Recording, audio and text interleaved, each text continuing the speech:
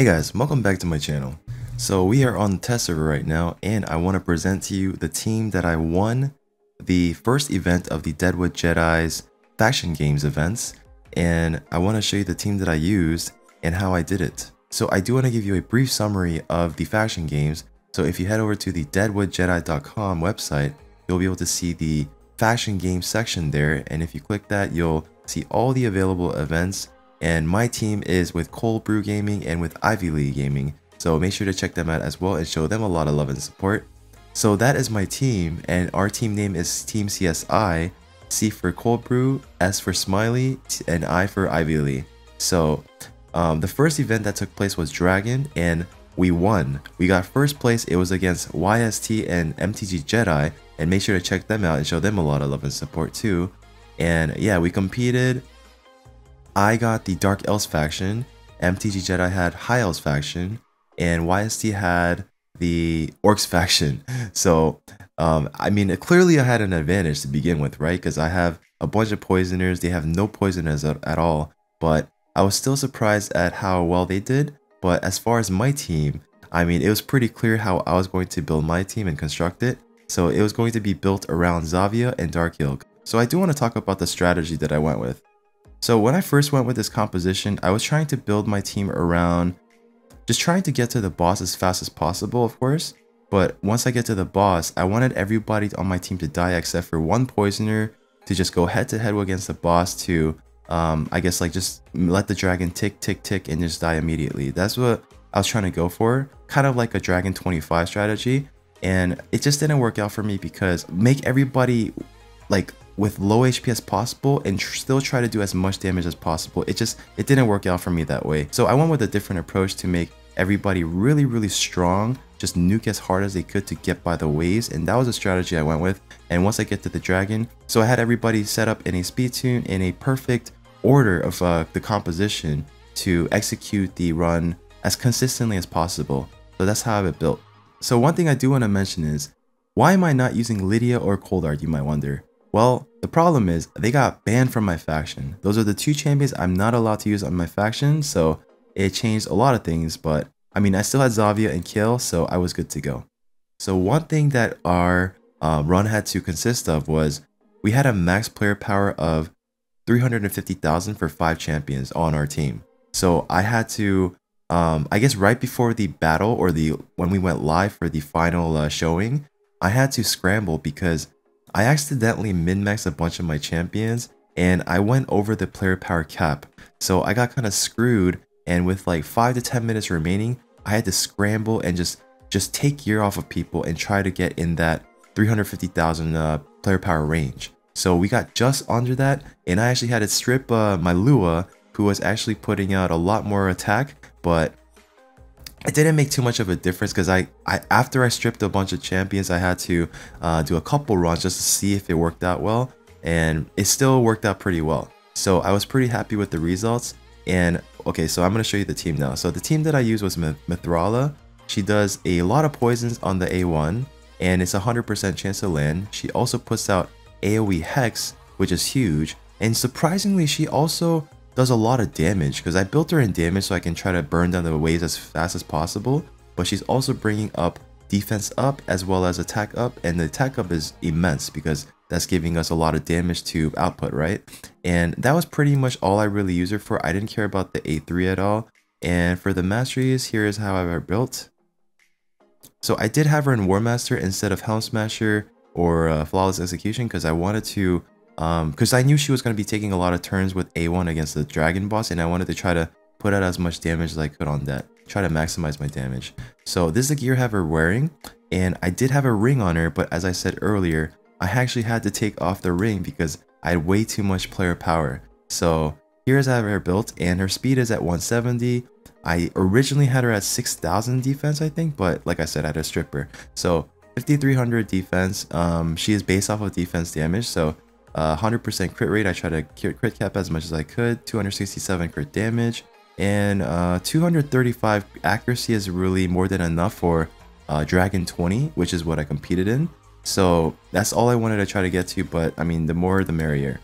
And on to the next champion I worked with was Zavia, she was the core of my team basically. And so I originally had her built in Relentless set, and I actually took it off because I think for Mithrala as well. Yeah, so I had them both built in a Relentless set, and those extra turns weren't really working out for me the way I wanted it to. So I try to go for a more consistent, tuned, like completely tuned team. I try to min-max and tune everything as to the to a T, basically. And it was as good as I could have gotten, I think. I don't know. I tried my best, but so yeah, so that's my Xayah. Um, again, I took off the rail Relentless because I didn't want it to go multiple times. So Aver going right after the Mithrala because for the first wave, she's going to be nuking right after the um, the Mithrala goes with the Hexes. And she's at 168 speed, crit capped, and 243 crit damage, and as much attack as I can get on her. I was just trying to build her in a lot of damage, uh, more than enough accuracy here. And so she's going to be putting out a lot of poisons with her A1, and she's also going to be putting out a lot of poisons with her A2, as well as her most important ability here to nuke down the boss is her explosions. The poison, uh, I guess the detonator, right? So this is the biggest um, thing I guess I use from Xayah as well as uh, Dark Kael, but I'll get to him in a moment. And also this was huge as well. The aura for attack um, all battles in 33%. So this was really, really important. And for the masteries that I used was... So for her, I went with Helm Smasher. I tried to do as much damage as I could because the waves were the biggest hurdle for me. And onto the next champion is Ray. So Ray, I tried to build as strong as I possibly could while trying to stay under the player power. So I have her built in Savage, and she's gonna be my my main source of nuke against the Wave 1 and Wave 2. So I have her prioritizing A2, which is her um her nuke ability here. So after the Mithrala goes with the hexes, I have her going right after the Xayah, and she's going to be doing 50% more damage to the targets because they're all under debuffs. So it was a huge nuke ability that um, allowed me to go by the ways really, really quickly.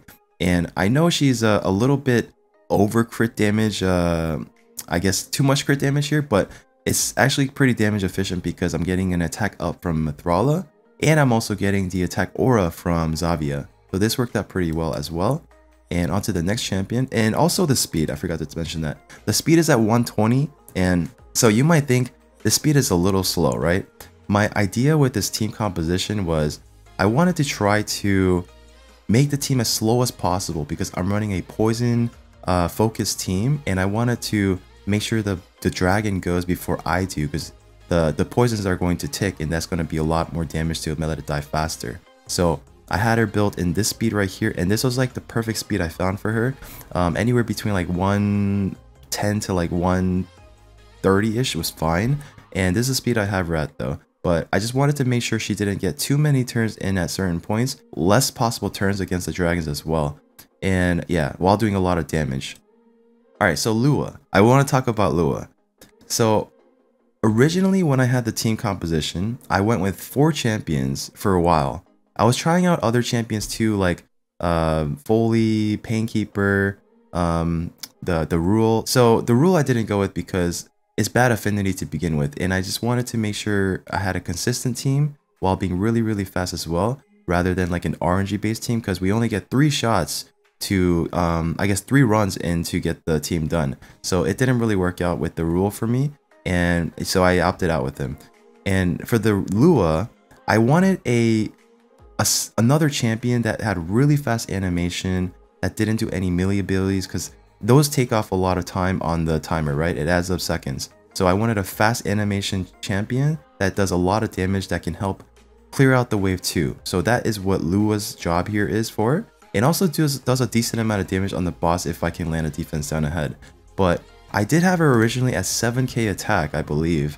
And it was okay, but like I said, I ran out of uh, the PP space, the player power space, so I had to start stripping uh, her, and it just it still worked out well. She still helped out a lot with the wave two clear, and the wave three, um, the the damage against the boss was not that bad, but that's how it uh, that's how I have her built. So I just made sure she has Savage set, and she's not really damage efficient here. But um, like I said, I, was, I had no time. I had to just scramble uh, together whatever I could at the last second, and this is a Masters I have her on her champion here is Dark Kael. So the gear doesn't really matter here as far as the regeneration set. Um, so he was originally what I was starting with, like to keep him alive only and everybody else died, but didn't work out. So the gear is, I kind of just left it the way it was because it was fine. So all I really focused on was getting some damage on him as much as I could and getting a decent amount of accuracy and making sure he's really, really slow. And that's pretty much it. That's all I really focus on. And his job is huge because he's going to be putting out a lot of poisons right here, right? Three poisons along with the poison sensitivity, which is huge. And also, he's going to be increasing the duration of all debuffs by one turn, which is massive. Really, really massive once I have all those poisons on the boss. Really huge. And for the A1, really, really nice as well. Triple hitter. He can uh, activate the poisons, basically detonate. And it's really, really nice. Dark Halo was also an MVP along with Xayah. For the masteries, I haven't built with War Master. Alright, so that is pretty much the composition here. And I do want to show you the run now. So let's get over to it. So this is the team I ran and we were on stage 20 for the run for the events. We had to do stage 20 dragons and we were also limited by a FPS cap at 60 because not everybody has a really fast computer and it's just to keep it the competition I guess uh, equal or fair. So we were at, capped at 60. So what that means is there's a huge difference between being capped at 60 FPS and unlimited FPS. So the difference of that is about 10 to 15 seconds because when you're unlimited FPS, you have a lot more frames and everything is going a lot faster. When you're capped at 60, it's a lot slower. So when we're capped at 60 FPS, the best time I came up with on my testing was 45 seconds. That was the best time I came up with. And when we went live on stream, the best time I got was 50 seconds. That's the time I won with. And when we were on unlimited though, my best time I ever gotten, and this was not counted towards a competition, this was just for fun, but uh, during my testing, it was 38 sec 37 seconds, 38 seconds. That was the best time I came up with with unlimited FPS on this run. So that is pretty much it though. So I do want to show you the run. This is actually on unlimited FPS right now. So you'll actually see. So this is basically the best potential in terms of time. So once I had the core of the composition, the biggest thing that was fine tuning as far as the um, what made it difficult was the presets. So the presets, I had to get all the orders correct as much as I could and this is pretty much how I was set up here. So for this run here, I opted to use the A3 first on Xayah because she does a lot of damage with the AoE hit. And it's enough to clear which is a Xayah, Mithrala, and the Ray. And I wanted to save the Poison Rain for the wave 2. And once I get to the wave 3, I had to set up in a way where she'll get it back and by the time she has to go. So that is a save for that in wave 2. Um, like I said, I use it there. I ignored this because I wanted a saver for wave 3. And wave 3, I have this position to go first, but I have this to go as priority. So A1 is going first, and then I get my Poison Rain back and I go with this, and then I end the run with this, the Wave 3, which is the nuke. And for the Mithrala, we focus on the A2, which is the AoE hit, does a lot of damage with the Hex as well with the attack up. And for the Wave 2, we went with the... So for the A2, she already used it, but I still had it on priority, um, just in case she had to get it back at some point if uh, the run fails or does really bad on the Wave 2. But she does the A A1 multiple times, and once I get to the A3 or the round 3, the A2 and A3 is not what I want to use. It's just the poisons that I want on the dragon. And onto the Kael, we have him only using the A1 because that's his fastest animation, and I don't need this to be used at all. It's on the wave 1. On the wave 2, same thing. I don't need to be used. I don't need to use this at all because I need to save it for the dragon fight. So he's using A1 only. And once I get to the dragon, he's going to prioritize using his poisons, the poison sensitivity, and then he's going to be uh, increasing the duration of all the debuffs and then that's pretty much it. So basically for her, she she's not taking a turn at all for the wave 1 because the wave 1's always getting nuked down immediately. And for the round 2, I turned off the lucky shot because I wanted to use this against the dragon because that's her strongest ability here for the dragon. And basically for this right here, I needed to use that for the wave 2 to help with the AoE damage because the wave 2 was the most difficult obstacle. Um, once I got to the dragon, it was cakewalk. Once the once I got to the wave one, it was cakewalk. The wave two is the biggest hurdle. And onto the wave three or the round three, uh, I open with the lucky shot, and that's pretty much it. And for the Ray, for the Ray, she is going to be our primary nuke. So she's going to be clearing out the wave one with their A2. Again, it does extra damage when they're under debuffs with the Hex as well. So Again, with the A2, she's doing additional damage because they're all under Hex, and because of her ability right here, it says additional 50% more damage, and it just it shreds. And onto the wave 2, I wanted to try to get this out again if I had it available, if it gets to it. And basically, I wanted to make sure I wanted to freeze everybody on the team if possible. And the best chance I have is 75% chance with the um, the snipe um, for the mastery. So I try to focus on getting the frozen down on all the champions if possible because the less turns that they take, the less animations in the run. And ideally, I needed to freeze the Tyrell and the Apothecary because once they get a turn, it's the, the Tyrell is really, really tanky. The Apothecary, he has a speed up ability or the filter meters and he also has a heal. So um, getting them frozen was is the most ideal for me in, in that case scenario. And that's pretty much it there. So once I get to the wave 3, it doesn't really matter. Whatever she has available, I use. So the freeze and the A2, it doesn't really matter because she doesn't really get to use them again. And so she's basically just using this right here. I think she actually does use the wave 2 again. Or the A2. Yeah, I think she does. But the defense down is not 100%. But if I could get it down on the dragon on the first go, then my Lua can do additional damage. So that's the idea there. But I wanted to make sure she got as low as possible turns because I don't really need her in there to take turns. Yeah, so that's pretty much the run there and I do want to show you the run now. So here we go. So again, my best possible time is 37, 38 seconds. And if everything goes right, and I think if every, no, actually, if everything goes right, I think I can do about 35 seconds on stage 20. So here we go. Hopefully it goes well here, right? Hopefully. Oh, it's on, uh, okay, so we're going to lose a little bit of time there because of the, um, it was on A1 or uh, one time speed instead of two times speed. So clean wave clear there on wave one. And now we're on wave two and we want to make sure we freeze the apothecary. Okay, perfect. Everybody got frozen. Ooh, they're going to get a turn. Yeah, so we lost a little bit of time there because of the animation. So the Tyrell is the tankiest here and he's always the hardest to get down. All right, clean there. And I, I think there's to be around 42 seconds. Okay, so everything is clean right now. Perfect. Everything's going really clean. Okay, this might be actually a fast run. 42 seconds? Yeah, just what I imagined. Okay, 43 seconds. I was off by one second. So 43 seconds is a run that I got there. And let's do it again. I want to see if I can get a better time. I want to see if I can get 37 seconds. That would be the dream. So the wave one is always, well, actually it was technically 40. Ooh, bad run. It was technically 41 seconds because you lost the time there, right? On the wave one when I had it on one time speed. Okay, everybody's frozen. This ideal. And I do need to focus the Tyrell because he's always tanky. Okay, beautiful. Now we can attack the Apothecary here. Okay, that should have been clean. I, that's a little unfortunate. But hopefully this goes really clean. We missed the um, the poisons there from Xayah. Unfortunate. Okay, we got the defense down. Okay, beautiful. More poisons. Beautiful.